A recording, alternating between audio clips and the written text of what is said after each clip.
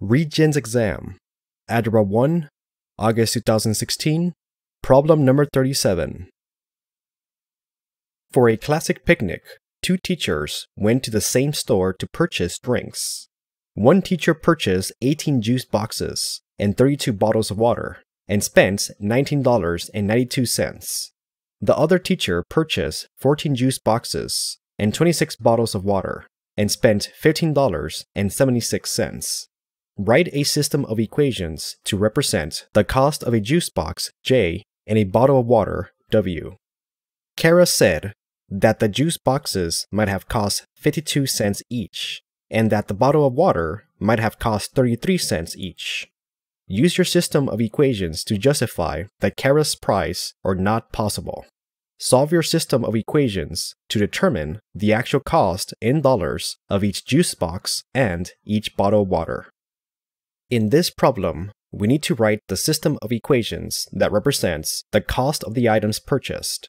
We also need to show that a particular price for the item bought is incorrect and not possible.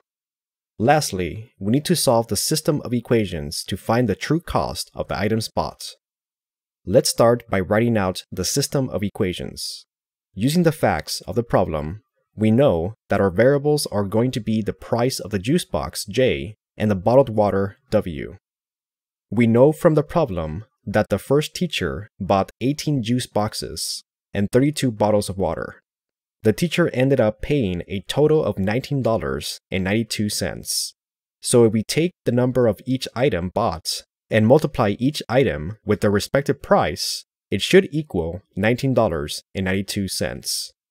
A second teacher also purchased 14 juice boxes and 26 bottles of water and spent $15.76. Similar to the first equation, we take the number of each item purchased and multiply them with their respective price. The total should equal $15.76. So this is our system of equations. Next, we need to show that the juice boxes and the bottles of water did not cost 52 and 33 cents respectively. We can prove this by contradiction. Let's assume that a juice box and a bottle of water did cost 52 and 33 cents respectively. Then, these prices should satisfy the system of equations that we wrote in the previous step. Substituting these prices into the first and second equation should yield a true statement for both equations. Substituting the prices and simplifying, we obtain the following. Notice that the prices yielded a true statement for the first equation, but not for the second equation. Recall that a solution to a system of equations needs to satisfy both equations and not just one. Therefore, the prices that Kara suggested are incorrect. The final question is asking us to solve the system of equations to find the actual cost of the items. We can solve this system by graphing the equations, or by using the substitution or elimination method. Let's go ahead and solve this system by using the elimination method.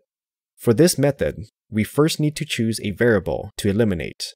Usually, the variable that has the smallest coefficient is the best variable to eliminate. In this case, let's eliminate the variable j. In order to eliminate this variable, we need to multiply both equations by a constant so that the coefficients are additive inverses of one another.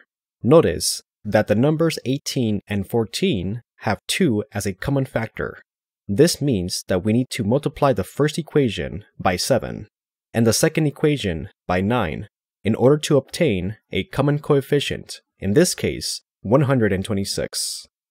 We also need to make one of these constants negative, so let's make the constant 7 negative. Keep in mind that we are free to choose which constant becomes negative. Multiplying the equations and simplifying, we obtain the following. Next, we go ahead and add the equations together. Notice that the variable j is eliminated, leaving us with an equation with a single variable, in this case, w. Solving for w, we obtain 0.24. The last step is to substitute this value into one of the original equations and solve for the other variable, in this case, j. Substituting the value for w into the first equation and solving for j, we obtain 0.68. So the price of the juice box was 68 cents, and the price of the bottled water was 24 cents. So this is our final answer.